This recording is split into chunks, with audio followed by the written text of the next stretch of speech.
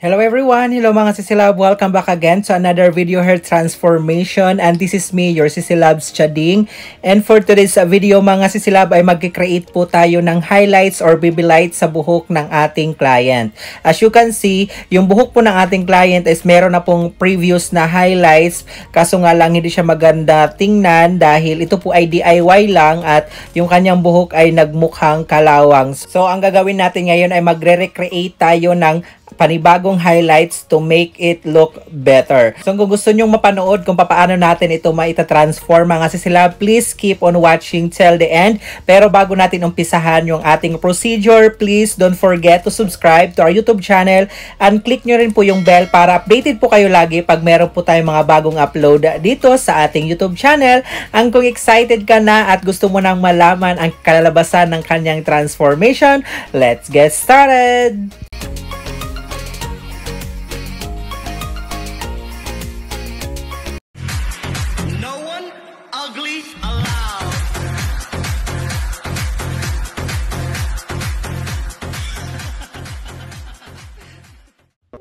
Alright mga sisilab, after natin ma-analyze yung buhok ng ating client, kaya naman po ay magpo-proceed tayo sa ating uh, preparation. So before tayo mag-apply ng ating pang-highlight, so kaya na kailangan muna naka-partition or naka-prepare yung buhok ng ating client para hindi tayo mahirapan once na naglagay na tayo ng foil. So para mas malinis or organize yung ating pag-highlighting mga sisilab, so hinati ko muna sa limang partition yung buhok ng ating client. Bali dalawa dito sa likod na parts, left and right.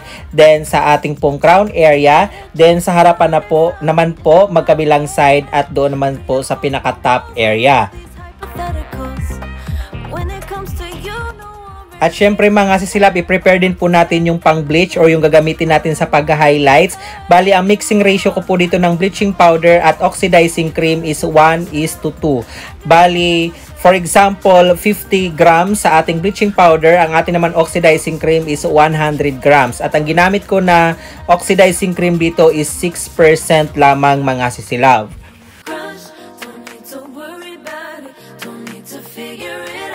Alright mga sisilab, ngayon naman po mag start na po tayo sa ating pagfo-foiling or yung paglalagay ng ating foil sa ating pag-highlights.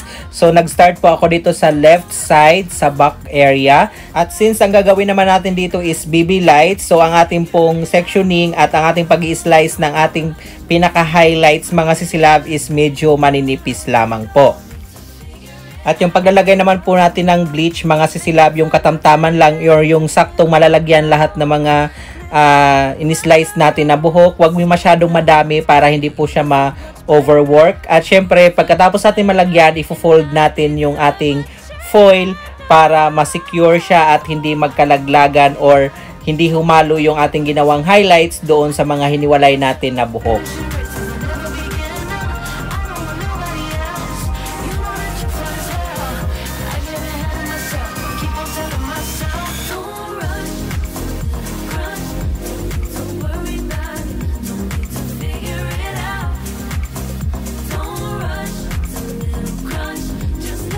So, ganun lang po ang gagawin natin mga sisilab. Yung nakita nyo ng umpisa, then i-work po natin yan going upward dito sa left side. And afterwards, pag natapos tayo dyan, ay in-next naman po natin doon sa kabila or sa right side.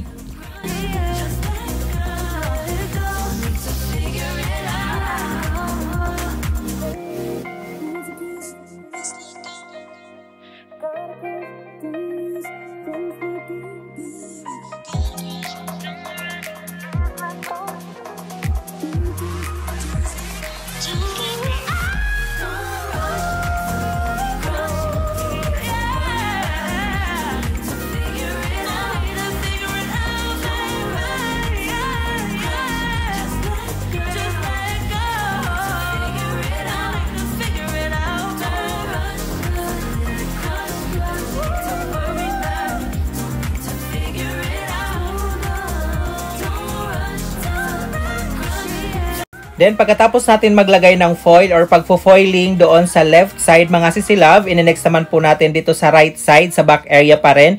Then working out pataas.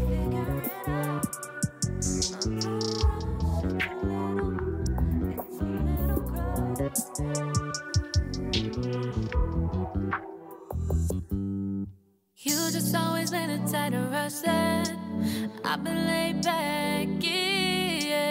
I don't wanna skip steps, you know that. So if you're with it, then say yeah.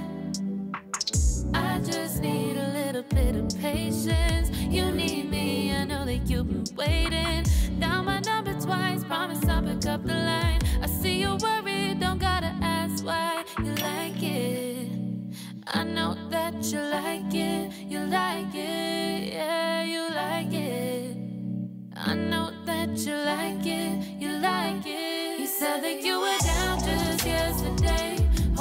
Stick around and wait for me. I see you wanna come up, but don't switch up on me. Yeah, I know that you, I know that you, I know that you, I know that you. At pagkatapos natin malagyan yung right side or both side dito sa back area mga sisilab, next naman po natin yung pinaka top area or sa crown area mga sisilab.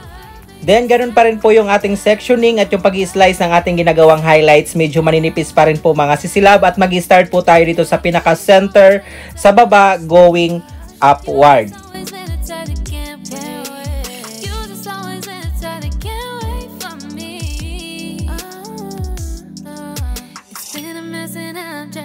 back. Can you stick through it with me or not?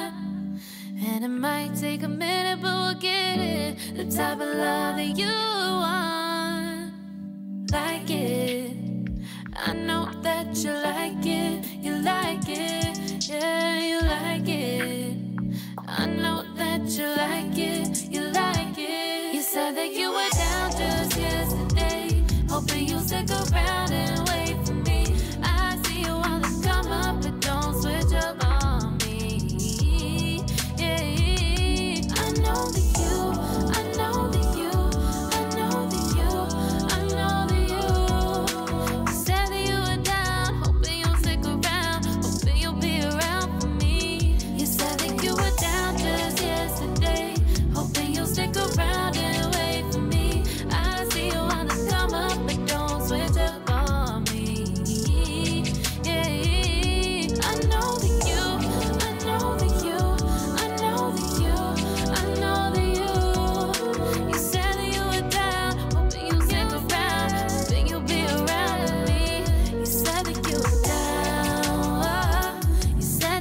Alright mga sisilab, so tapos na po tayo sa back area. Ngayon naman po ay next na po natin yung front area. At syempre, magsisimula tayo dito sa may pinaka-top part. Bali, nakatatlong um, partition po ito, both sides. At syempre, yung pinaka-crown area or sa top area. So, dito tayo mag-start sa ating pag-foiling.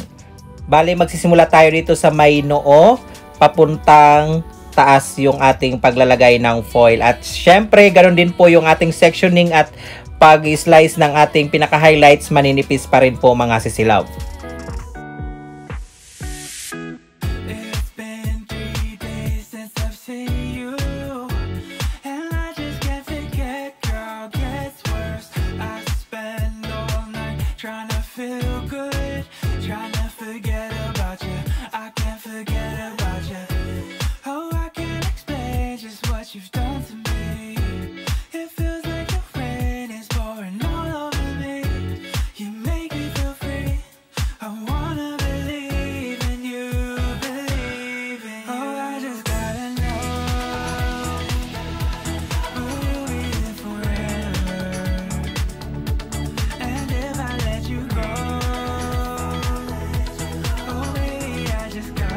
At pagkatapos natin dito sa top part, sa may pinaka-front area, ini-next naman po natin yung magkabilang side. Dito, syempre, sa front area. Kung ano po yung ginawa natin doon sa nauna, ganun din po yung gagawin natin sa magkabilang side dito sa ah, front area.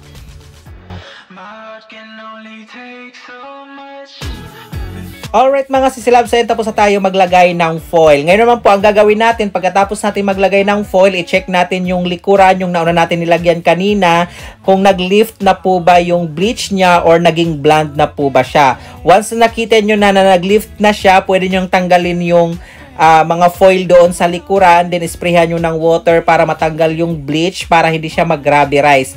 At syempre, yung nahuli, ibabad nyo muna ng 15 to 20 minutes para makahabol yung pagka-lift ng kanyang bleach doon sa likuran bago natin siya banlawan. Or once na nakita nyo rin na hindi pa siya masyadong nag-lift mga sisilab, pwede nyo pong reapplyan ng bleaching cream yung ating pong ginagawang highlights. Then once na okay na siya mga sisilab, that's the time na pwede na siyang banlawan. Then gumamit po kayo ng purple shampoo and conditioner para mas maganda yung kinalabasan ng ating highlights. Then, i-next po natin yung ating color, kung anumang kulay ang gusto nyong ilagay sa ating highlights para hindi siya magmukhang brassy or mawala yung pagka-yellow undertone ng ating pong highlights. Bali po yung ginamit ko dito is ash gray color mga sisilab.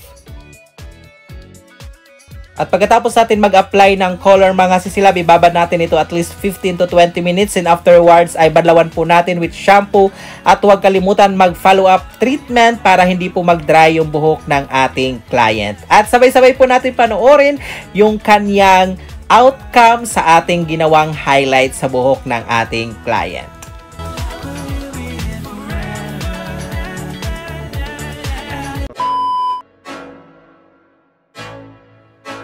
There you have it mga sisilabs. Ito na po yung resulta sa ginawa nating highlights or baby lights sa buhok ng ating client na merong previous highlights. Kayo na po ang humusga. Comment your thoughts below. Hanggang dito na lang po ang video ito. I hope nakatulong ang video ito sa inyo. Lalong-lalo na kung gusto nyo magpa-highlights or kung gusto nyo gumawa ng highlights. She got the looks, the good, oh boy, I need her so bad in my life. Shawty, where you wanna go? So hanggang dito na lang po ang video ito mga silab. Maraming maraming salamat po. And this is Chading saying have a great hair day always mga silab. Until next video. Bye! Na na na. Just be in your songs alright, songs alright, girl. I want nobody but you.